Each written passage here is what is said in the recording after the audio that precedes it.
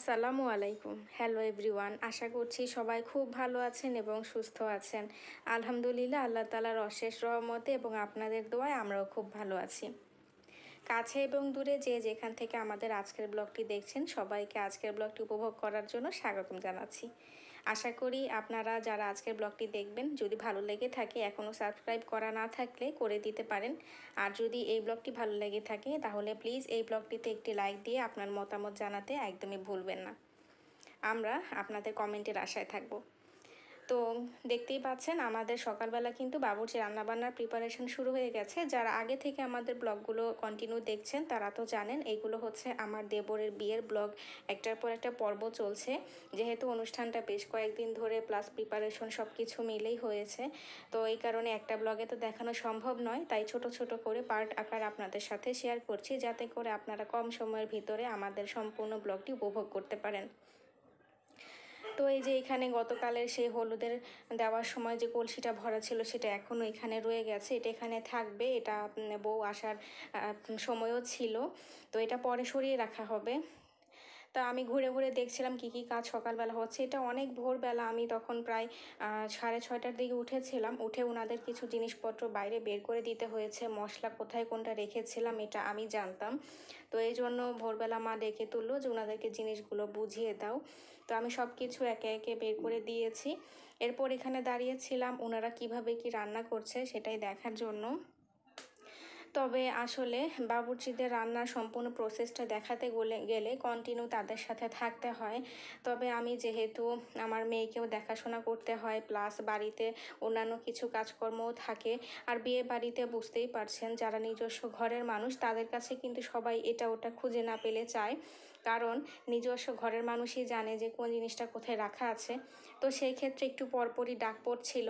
তাই আর সম্পূর্ণ ভিডিওটা আপনাদের সাথে রেসিপি আকারে দেখাতে পারছি না। চেষ্টা করেছি যতটুকু সম্ভব আমার কাজের ফাঁকেও দৌড়ে এসে এসে একটু একটু করে ব্লগ রেডি করে রেখেছি ভিডিও আকারে যাতে আপনাদের সাথে আমাদের এই ছোট্ট আয়োজনটা সামান্য করে হলেও শেয়ার করতে পারি। তো দেখতেই পেয়েছেন আমাদের সকালবেলা খিচুড়ি রান্না হয়েছে। এখানে আমরা যে মুরগিটা ব্যবহার করেছি রোস্টের জন্য সেটারই হচ্ছে যে বাড়তি অংশ যেটা রোস্টের প্রয়োজন হয় না সেগুলো দিয়েই সকালে খিচুড়ি করা হয়েছিল ভুনা খিচুড়ি। তো এটা আমরা বাড়ির সবাই মিলে খাব। আর আজকের সকালে নাস্তার ভিতরে ঘরের মানুষ আর অন্যান্য কোনো ঝামেলার মধ্যে যাচ্ছি না।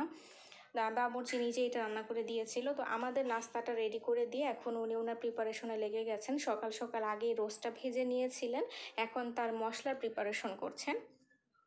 তো আমি দাঁড়িয়ে একটু দেখার চেষ্টা করছিলাম যে দেখি উনি কোনটা কীরকম দেয়। তবে ওনারা কোনো কিছুই কিন্তু পরিমাপ সেভাবে চামচে মেপে দেন না। সম্পূর্ণটাই দেখলাম যে ওনারা একদম হাতের আন্দাজে নিজেদের পছন্দ মতো দিচ্ছেন। তো এই কারণে আর মানে সেভাবে আমি বোঝার চেষ্টা করা সত্ত্বেও অতটা আয়ত্ত করতে পারিনি যে কতটুকু পরিমাণে তারা কি ইউজ করেছেন। তবে ওনার রান্নাটা কিন্তু সবাই মোটামুটি পছন্দ করেছিল। সবগুলো খাবারই বেশ ভালোই ছিল।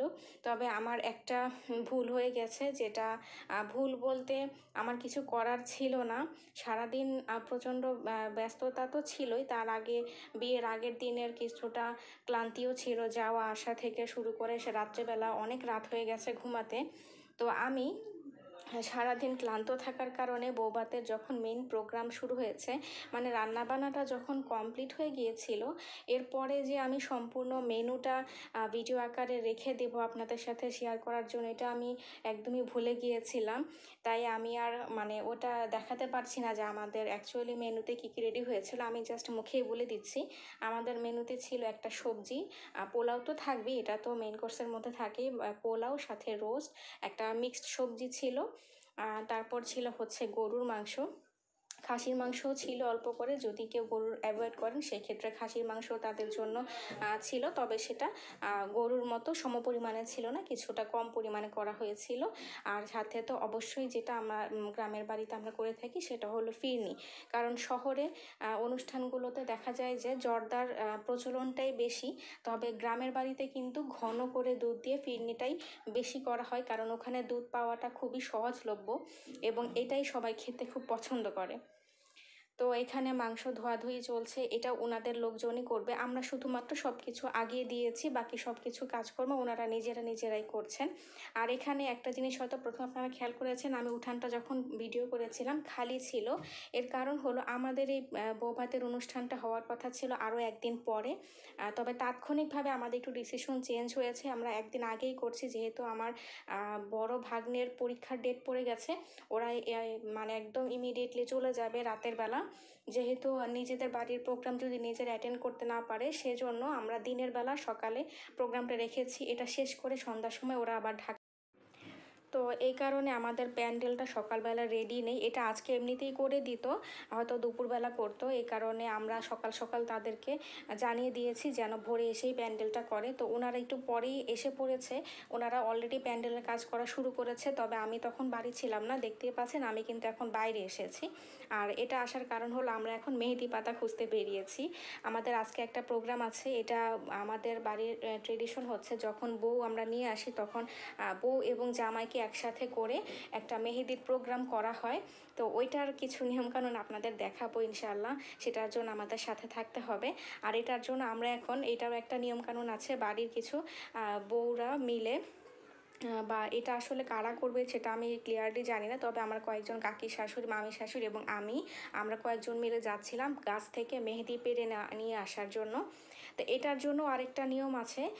সেটা হলো আমরা যেই বাড়ি থেকে মেহেদি পাতা আনব তাদের জন্য আমরা সাথে করে নিয়ে গিয়েছিলাম মিষ্টি, পান, সুপারি এবং সাথে হচ্ছে আগুন জ্বালাতে হয় সেখানে। সেটার জন্য আমরা মানে কুপিটা খুঁজে পাচ্ছিলাম না, তো মোম নিয়ে গিয়েছিলাম। তো ওই, এই কাকিদের বাড়ি থেকে আমরা নেব, এই কারণে কাকিকে সব কিছু হ্যান্ড ওভার করে দিয়ে দেওয়া হয়েছে। এখন এই কাকি মোমটা জ্বালিয়ে আবার নিভিয়ে দিবে। তো এরপরেই আবার হচ্ছে আমরা পরের কাজটা করতে পারব। তো এই তো, এখন হচ্ছে আমরা এখানে আগুন জ্বালানো, সব প্রিপারেশন সব কিছু শেষ হয়ে গেছে। এখন পরবর্তীতে মেহেদি পাতা তুলে নেওয়া হবে। তো এই তোলার সময় একটা গীত থাকবে, সেটা আশা করি আপনারা এনজয় করবেন। এটা অবশ্য আমি পারি না, এটা আমার শাশুড়িরা মিলেই গাইবে। আমি শুধুমাত্র দাঁড়িয়ে থেকে আপনাদের জন্য ভিডিওটা রেডি করেছি। কপালে দলে না দেখতে মুই না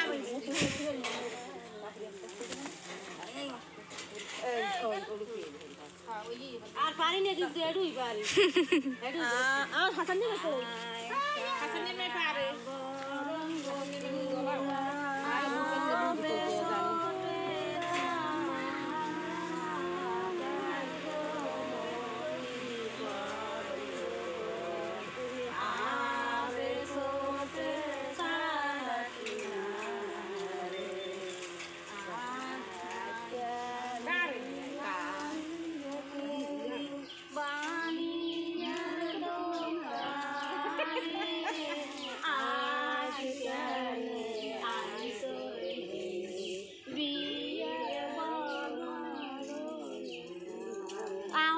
哼哼。